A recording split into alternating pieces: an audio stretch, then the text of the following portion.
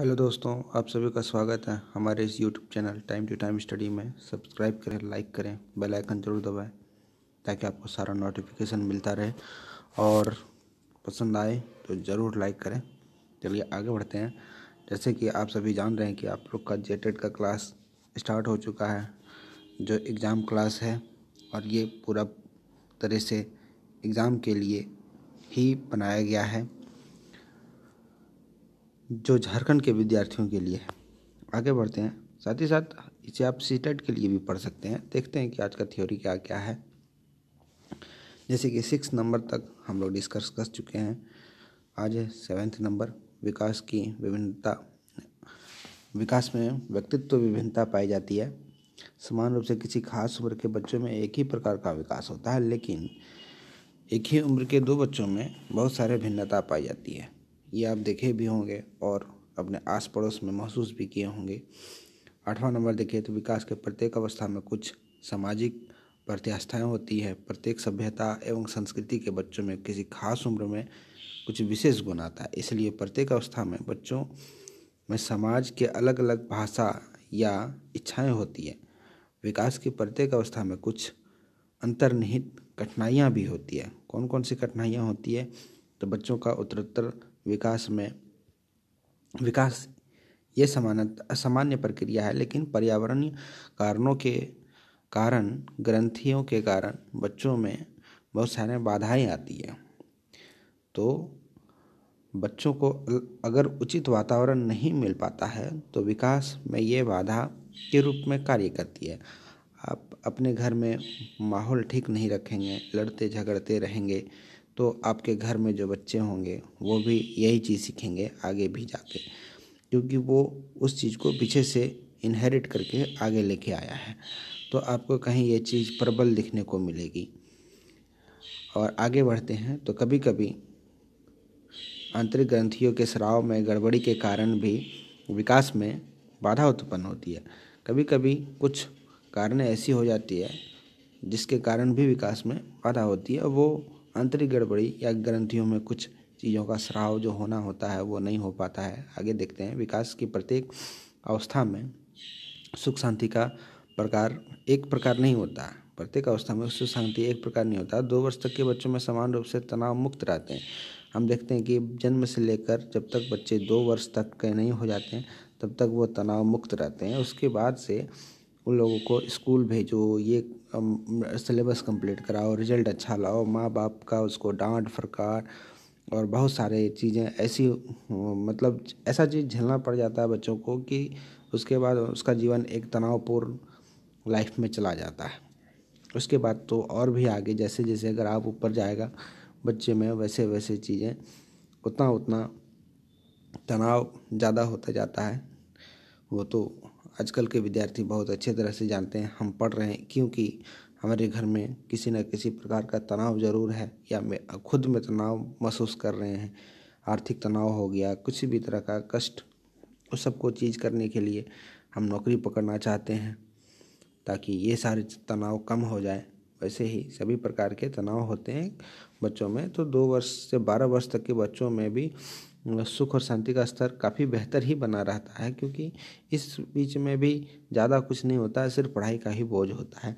लेकिन बारह वर्ष के बाद विभिन्न कारणों के तनाव का स्तर बढ़ने लगता है। आप यहाँ देख चुके हैं और मैं लिख भी दिया हूँ।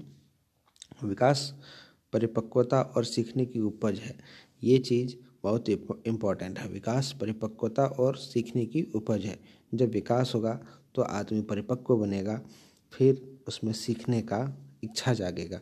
पूर्व प्रसूति काल से लेकर जन्म तक विकास के लिए परिपक्वता ज़्यादा महत्वपूर्ण है। ठीक है? लेकिन जन्म के, जन्म लेने के बाद विकास पर शिक्षण या सीखने का काफ़ी प्रभाव पड़ता है। जैसे कि आप देखे होंगे, जन्म लेने के बाद जो है, उसको शिक्षण या सिखा, सीखने का काफ़ी प्रभाव पड़ता है।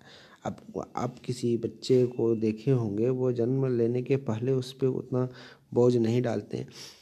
लेकिन जन्म लेने के बाद बच्चे को ये सिखाएँगे ये सिखाएँगे, फलाना ढिमकाना करके उस पर बहुत सारे चीज़ों का बहुत सारे ऐसे चीज़ हैं जो उस पर थोप दिए जाते हैं। ठीक है? तो इन सभी चीज़ों को याद रखें। परिपक्वता जो कि अनुवांशिकता पर निर्भर करता है जैसे कि अनुवांशिकता पर क्यों निर्भर करता है?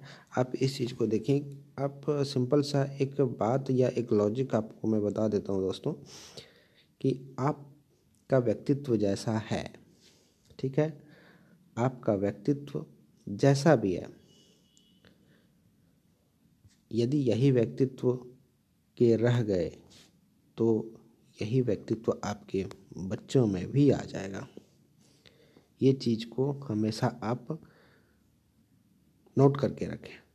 यदि आप दिन भर में, यदि आप दिन भर में चौबीस घंटे का दिन होता है हाँ इसमें आप यदि पंद्रह घंटे की पढ़ाई करते हैं तो आगे जाकर जो आपका बच्चा भी होगा या संतानें होंगी, आने वाली पीढ़ियाँ होगी, वो भी कहीं ना कहीं इस चीज़ पर ज़्यादा हावी रहेगा।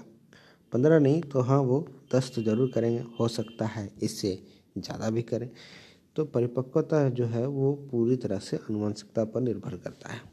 इसलिए मैं आपको बताया, क्योंकि आजकल के माँ बाप उतना अच्छा से सीख नहीं पाते, सिखा नहीं पाते, जान नहीं पाते। इसलिए मैं ये चीज़ आपको बताया कि आपके अंदर जो चीज़ है, वो ऑटोमेटिकली आपके बच्चे के अंदर वो ट्रांसफ़र हो जाएँगी। फिर वो जब बड़ा होगा तो आप वही बोलेंगे कि मैंने तो किया नहीं। तो बच्चे ने ये कैसे सीख लिया? यह नालायक है। तो जी नहीं वो नालायक नहीं है। वो आप ही से सीख के आता है, जिसको आप नालायक कहते हैं। वैसे तो देखें कि यदि आपका जो गुण था, वो आपके बच्चे में गया है तो आपको खुश होना चाहिए, क्योंकि बच्चे आप पे गए हैं। खैर, वो सब बात की बातें हैं। तो आपको ये चीज़ याद रखना है। किसी को बुरा लगे तो आई एम हार्टली सॉरी देखते हैं, इसलिए यह एक चार दीवारी की तरह कार्य करता है, ठीक है? अब बच्चे आपके मतलब गर्भावस्था में हैं और आप उसको ये सब चीज़ गुण, सारे गुण जो है उसको आप देकर और पहले से उसको भेज रहे हैं तो ये सारे जो है वो चार दीवारी की तरह हो जाती है कि बच्चे खुद सीख कर ही आएँगे। आगे बढ़ते हैं, देखते हैं, सॉरी इसके अंदर उचित वातावरण मिलने पर अनुवांशिकता अंत शक्तियों का पूर्ण विकास संभव हो जाता है। फिर से वही बात की गई है। तो आप इस चीज़ को ध्यान रखें। आइए देखते हैं विकास की अवस्थाएँ। विकास की जो अवस्थाएँ हैं दोस्तों, वो मनोवैज्ञानिकों के द्वारा दस बताई गई हैं। विकास की जो अवस्थाएँ हैं, मनोवैज्ञानिकों के अनुसार उसको कितने बताई गई है? उसको टोटल दस बताई गई, जो इस क्लास में नहीं, इसके आगे की क्लास में मैं पढ़ाऊँगा। चैनल को ज़रूर सब्सक्राइब करें, दोस्तों के साथ शेयर करें, और पीडीएफ अगर आपको चाहिए तो इस टेलीग्राम चैनल से आप डाउनलोड कर सकते हैं। शेयर ज़रूर करें, लाइक करें, कमेंट करें। Thanks for listening, God bless you all.